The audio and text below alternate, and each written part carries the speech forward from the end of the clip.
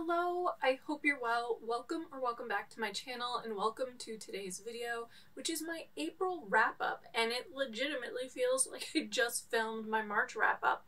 Probably because I did. But here we are again to talk about the books that I read in April. Once again, we're looking at a month where I read five books.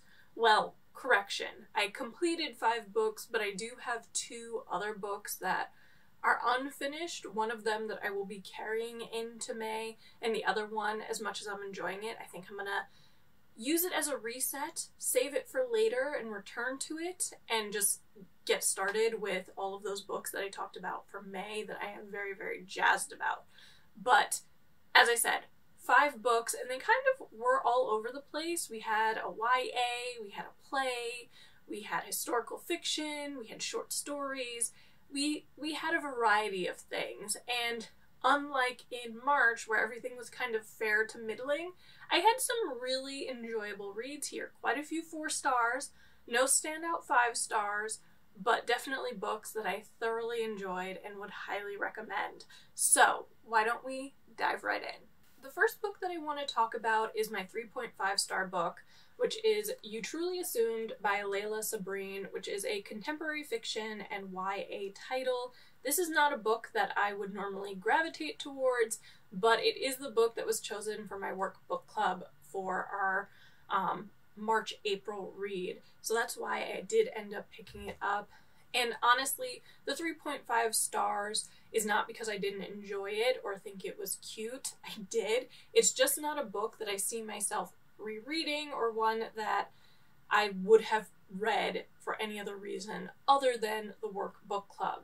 So, the entire premise of the book is that the main characters, who all have their own POVs, are black Muslim teens who are living in a post 9 11 world. In fact, the book is pretty much set today. And these girls who are like 17 would not know a world before 9 11. But at the start of this book, there is a terrorist attack in Washington, D.C. Society and the public assume that it is an Islamic extremist, and as a result, Islamophobia is rampant. That is a reaction that unfortunately I think we are all familiar with and is uh, unfortunately horrifically realistic, but these teenagers need to react to that within their own lives. And they do so by becoming activists in a way. And one of the main characters, Sabriya, actually starts a blog that becomes this like safe space for her to share her thoughts and reactions to everything that's going on after this terrorist attack but also becomes this little community for people like her. And that is how the other two main characters, the cat and also Farah, end up meeting her. They all become a team running this blog together, and over the course of doing that, they form this really, really sweet relationship and friendship.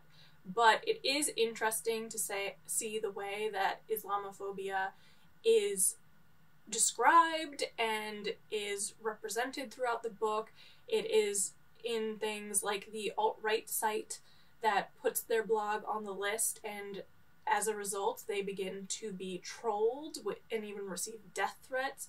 It also is indicated by people saying really microaggressive and aggressive things. It is also represented in vandalism and just the reaction of the Muslim community to what has happened, putting fences around mosques and the like. So you get a good feel of how Islamophobia and that hatred can appear in society. And overall, I thought it was really, really interesting. The girls are incredibly brave how they face this sort of hatred from people they know and also people they don't know is really, really great. Um, I would say though that I feel like this is a book that probably isn't going to age well. Not because the talk of Islamophobia and hatred and prejudice isn't evergreen. Unfortunately, I think it is. It's because this book is so steeped in the in the technology of today because these girls who never meet each other in person, they communicate in emails and text messages and Zooms and FaceTimes. And I could see in five to ten years that some of that technology has probably gone away and been replaced with other things. So it's an interesting facet of this book, but I do think probably in another couple of years that might feel a little bit dated. Um, my one main criticism with the book, which is more a me thing than a you thing in the case of the book, is that it does read a little bit too YA for me. I think that it is that a lot of sort of issues that come up are resolved very quickly, very cleanly, and neatly. Um, I think that some of it feels a little bit sanitized, not completely, but if you know what I'm saying. And also, the book is just really, really, really saccharine and wholesome. And I honestly, these teenagers are a delight. I think most parents would love to have them as their children because I don't know many teens who are as respectful or as loving to their parents or their siblings as the three of them are in here. However, that is really just a me thing because I don't read YA all that often. But I do want to give a shout out to this author, Laila Sabreen, because according to the author bio, she's still in college. She's at Emory. So this author is between the ages of 18 and 21, would be my guess, which is really, really impressive. So, yes, that are that's what I think of this book. I do think that if you read YA, you'd probably get along with this a little bit more than I did. The next book is my 3.75 star read for the month, and that is Dimanche by Irene Nemirovsky, which I will try to avoid having too much of a ring light glare there for you because I know how annoying that is. It it hurts my soul when I'm editing, so I'm sure it hurts your soul when you're watching. But this is a short story collection by Irene Nemirovsky, who is one of my favorite authors. I've read, I think, is it two other books by her? They were both novels, so this is the first time I'm trying short stories by her. But this is a collection of 10 short stories written between 1934 and 1942 and translated from French. I read this for the Linguathon and I really enjoyed it.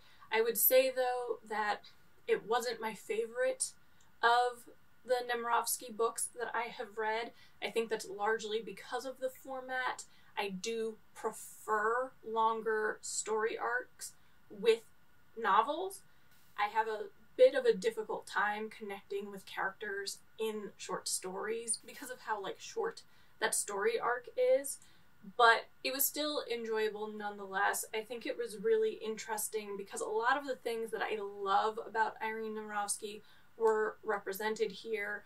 She always focuses kind of on the everyday individuals within society, and in this case, it's a bunch of different individuals living before the war and during the war in France. You're getting to see a lot of interpersonal relationships between husbands and wives, parents and their children, and basically just a really, really nice um, selection of different human relationships over the course of the book.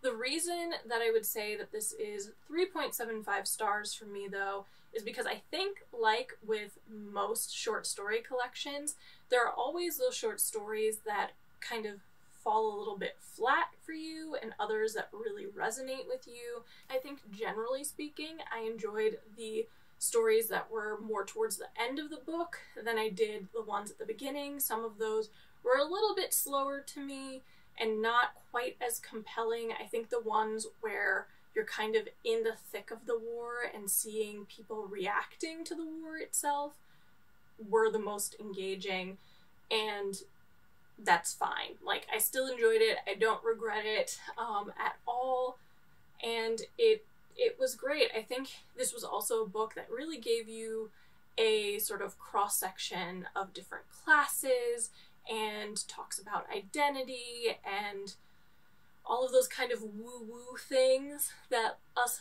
English lit majors enjoy, like really talking about. But yeah, would I read more Irene Nemirovsky? Absolutely. Would I read more short stories by her?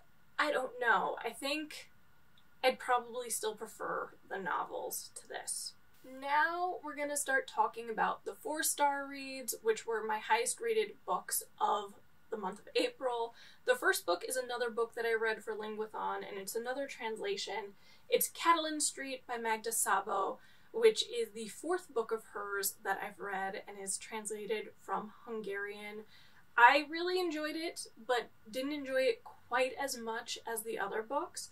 But the premise of this book is that these three families live in adjoining houses on Katalin Street in the like pre-World War II era in Hungary. When war happens, there are some really tragic consequences. The book itself, though, is largely about the four children between those families. So there are two sisters, a young boy, and then one other girl.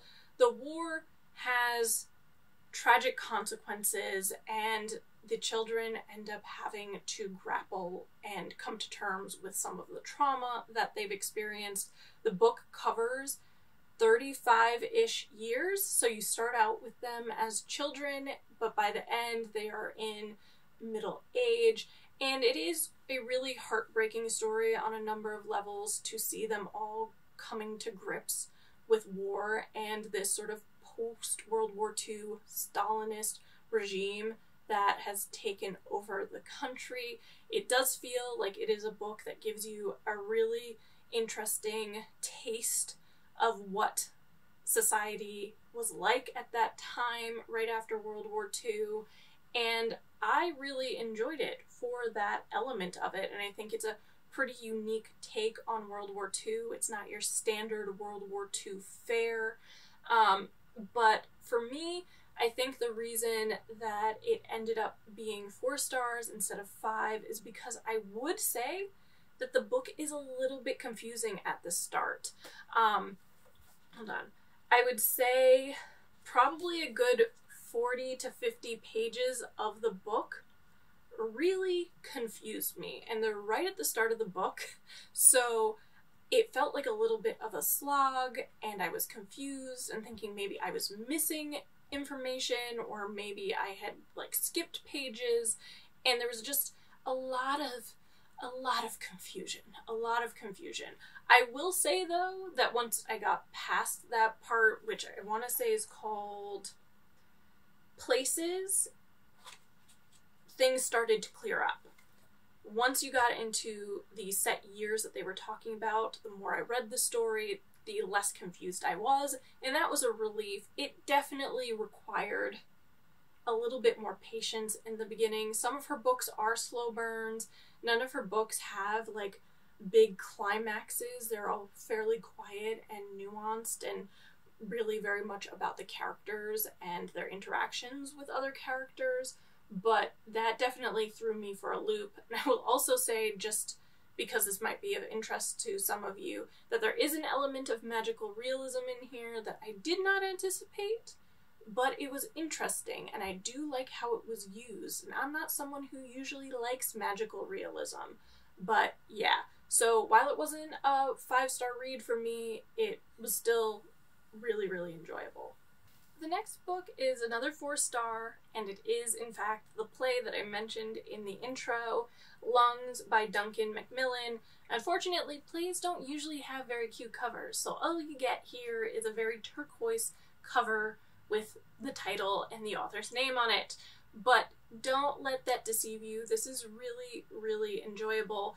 I first learned about this play actually at the kind of beginning of the pandemic in 2020 because the National Theater was putting on a production via Zoom with um, Matthew Smith or Matt Smith and Claire Foy, um, who had done the role on stage originally, and so it was to raise money to support the arts. So I paid whatever the like virtual ticket cost and watched them perform it, and was just really really intrigued. So this is, I would say, a very modern play. It feels very experimental in how it's written. The staging, like, there are no stage directions, there's no real description of the stage itself. The characters don't even have names. They're M and W over the course of the book, and it's actually written in a way that kind of is reminiscent of poetry because of how like the lines are broken up, which I thought was interesting. It kind of remind me reminded me of Shakespeare, although the language is quite modern. But the premise of the play is that this young couple are contemplating whether or not they should have a child. Their reasons why they might not be having a child are because they're worried about the state of the world. They're like, should we actually be bringing a child into this, considering like global warming and climate change and war and everything else? And they kind of go down rabbit holes constantly, where it's just like a case of, well, if we create a child, like that's this much carbon emission or whatever. But we have to think beyond that because if our child has a child, then it's their children and also their children's children. And yeah, they it it's a swirl. Um, but it was so so fascinating and so interesting to hear this conversation. And the play is kind of rapid fire. Like think Gilmore Girls, and then increase that speed by like ten because it's just constant. They the characters are interact are like interrupting each other as they're speaking, talking over one another, and it just moves really, really, really fast.